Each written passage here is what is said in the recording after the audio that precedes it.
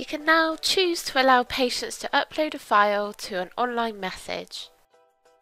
To do this, the practice has to give the patient permission through the reply function.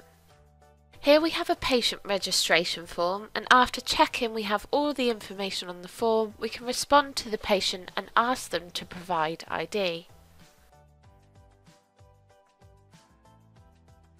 We can type a message to explain to the patient that they need to visit the practice with their ID, or they can respond to the message and upload images of their ID or documentation.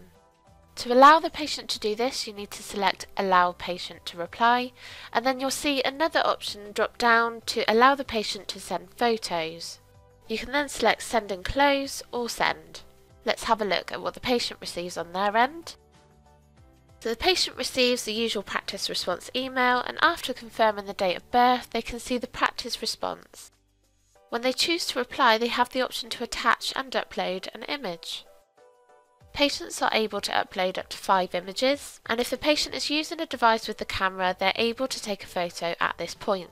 Or they can go to their library and upload the required images.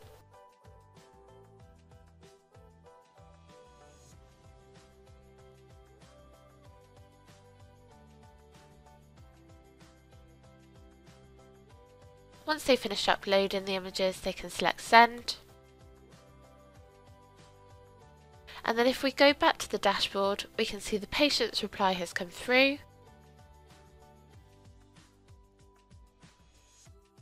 And when we open it up, you can see the documents attached. To enlarge the image, you can click on it, and in the top right you'll see a download icon and this will download the image to your PC or laptop or whatever device it is that you're using.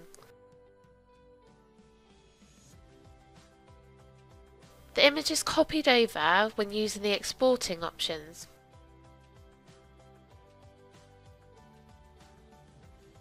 You can see the image is embedded here in the PDF. And when using the clinical system button, the image is copied over with the episode of care.